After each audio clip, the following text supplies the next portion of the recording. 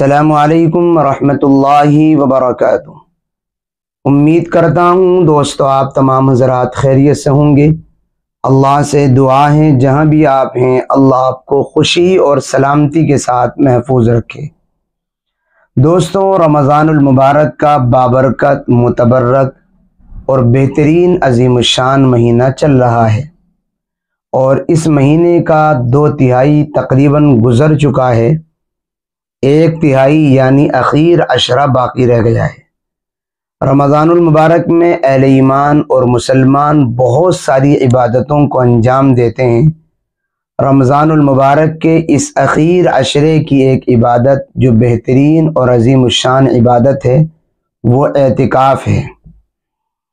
رمضان المبارک میں اعتکاف کرنے کا سب سے بہترین اور عظیم الشان فائدہ یہ ہے کہ اعتکاف کرنے والی خاتون کو، اعتکاف کرنے والے مرد کو شب قدر کا وصول کرنا اور شب قدر کے ملنے کے چانس زیادہ ہوتے ہیں۔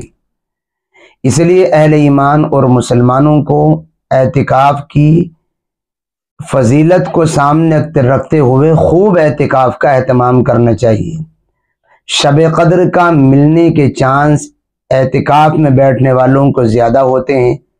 اور یاد رکھیں شب قدر انتہائی عظیم الشان رات ہے۔ اس ایک رات میں عبادت کرنے کا ثواب ایک ہزار مہینوں سے بہتر ہے۔ اس لیے اگر زندگی میں کسی کو ایک شب قدر بھی میسر آ جائے، تو گویا کہ اس نے اگر اس رات میں عبادت کر لی، عبادت کے ساتھ وہ رات گزار لی، تو اس نے ایک ہزار مہینے عبادت کی ہے۔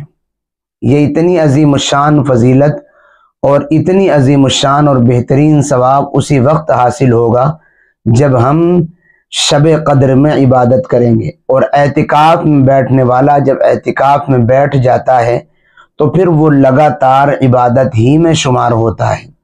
اس لیے شب قدر کو وصول کرنے اور شب قدر کو پانے کا بہترین طریقہ اعتکاف ہے۔ مرد اور خواتین سب کو اعتکاف کا اہتمام کرنا چاہیے۔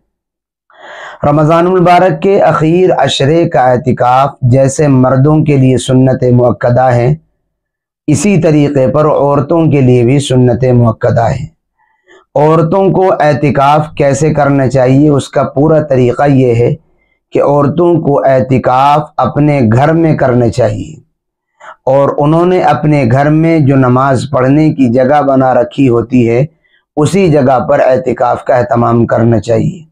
اور اگر کسی خاتون نے اپنی نماز پڑھنے کی کوئی جگہ بنا ہی نہیں رکھی ہے، کبھی بھی کہیں بھی کھڑے ہو کر وہ نماز پڑھ لیتی ہے، تو وہ اعتکاف کے لیے اپنی ایک جگہ متعین کریں اور بیسویں روزے کو افطار اسی جگہ پر بیٹھ کر کے کرے۔ پردے کا اہتمام کر لے، چادریں لٹکار لے، اپنا اوڑھنے بچھانے کا سامان وہاں رکھ لے۔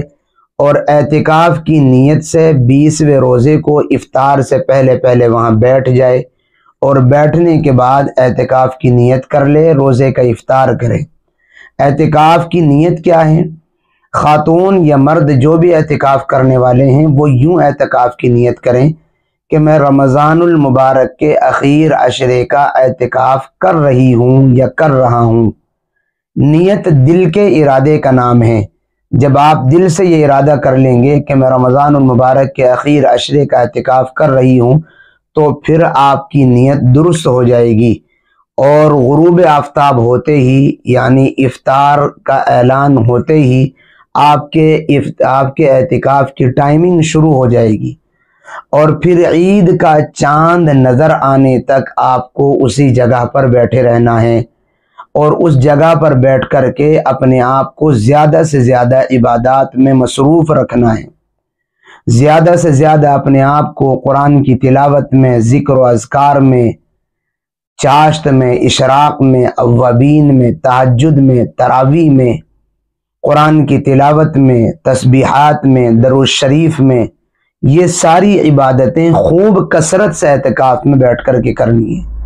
تو خواتین کے اعتکاف میں بیٹھنے کا یہی طریقہ ہے کہ وہ جہاں نماز پڑھتی ہیں یا تو وہاں، اور اگر نماز پڑھنے کی کوئی جگہ متعین نہیں تو گھر کے کسی گوشے میں، کونے میں چادریں لٹکا کر کے ایک پردے کا اہتمام کر لیں اور بیسویں روزے کو افطار سے پہلے پہلے وہاں موجود ہو جائیں، بیٹھ جائیں، اعتکاف کی نیت کر لیں، یہی آپ کے طریقہ ہے مکمل اعتکاف کا۔